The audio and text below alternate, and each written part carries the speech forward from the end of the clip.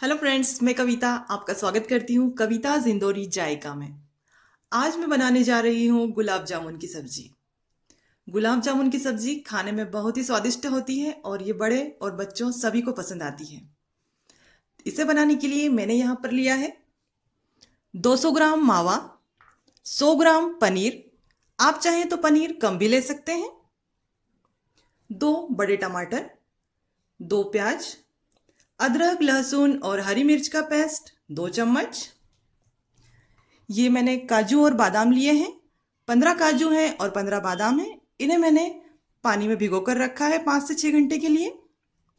दो चम्मच दही, धनिया पाउडर, जीरा, गरम मसाला, नमक, हल्दी पाउडर, लाल मिर्च पाउडर, तेल दो चम्मच मैदा और कुछ खड़े मसाले हैं।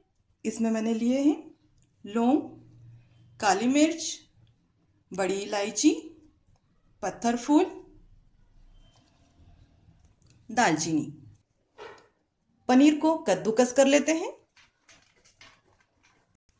पनीर में हम मावा मिला लेंगे। ये देखिए, इसमें हम मैदा भी मिक्स कर लेंगे।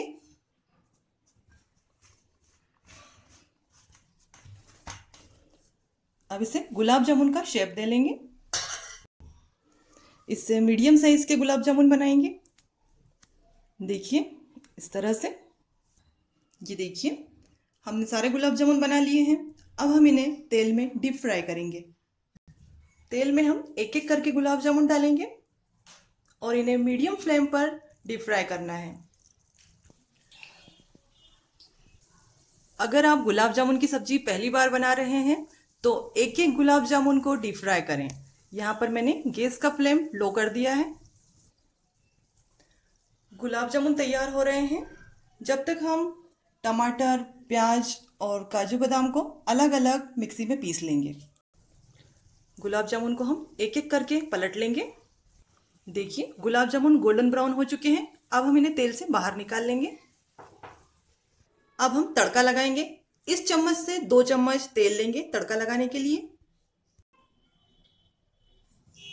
तेल गर्म होने पर खड़े मसाले डालेंगे और साथ में डालेंगे आधी चम्मच जीरा। अदरक, लहसुन और हरी मिर्च का पेस्ट डालेंगे। इसे हम एक मिनट तक भूनेंगे। ये हमें लो फ्लेम पर भूनना है। प्याज का पेस्ट डालेंगे।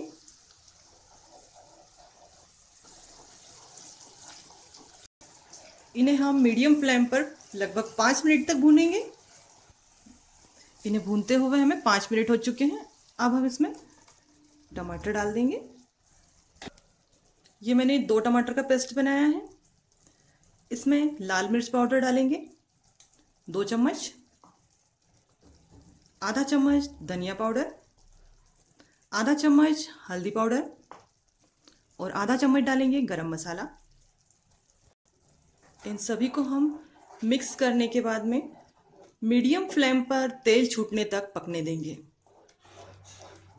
ग्रेवी को पकने में अभी टाइम है और ये बबल्स के साथ छीटे काफ़ी उड़ रहे हैं, इसलिए मैं इसे ढक देती हूँ। इसे हम बीच बीच में चलाते भी रहेंगे। आप देखेंगे किनारों से तेल छूट चुका है, ग्रेवी पक चुकी है। अब हम इसमें नमक डाल देंगे। दही डालेंगे। और काजू बादाम का पेस्ट भी डाल लेंगे। ये पेस्ट बनाने में मैंने दूध डाला है थोड़ा सा आप चाहें तो दही भी डाल सकते हैं। इसे मिक्स कर लें। याद रखिए, दही ग्रेवी के पकने के बाद डालें, वरना ग्रेवी फट जाएगी। इसमें आधा कप पानी डाल लेंगे। ग्रेवी को ढककर दो मिनट और पकने देंगे। ग्रेवी तैयार हो चुकी है। गुलाब जामुन रख लेंगे एक प्लेट में और ऊपर से ग्रेवी डालेंगे। ऊपर से कद्दूकस किया हुआ पनीर डालें। गुलाब जामुन की सब्ज़ी बनकर तैयार है। आपको मेरी आज की रेसिपी पसंद आई हो तो इसे लाइक कीजिए और भी इस तरह की रेसिपीज़ देखने के लिए मेरे चैनल को सब्सक्राइब कीजिए। Thank you